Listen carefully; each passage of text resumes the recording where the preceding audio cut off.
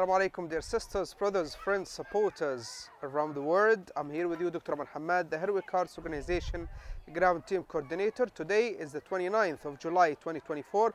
We are here in this tekiya, this free soap kitchen for Heroic Hearts Organization. We are continuing preparing the hot soap meals for the displaced people in Hamad City. We are talking about hundreds and hundreds of families. In addition that we are founding here new displaced people who are coming from the east of Khan Yunis as they are uh, actually finding a secure place like Hamad.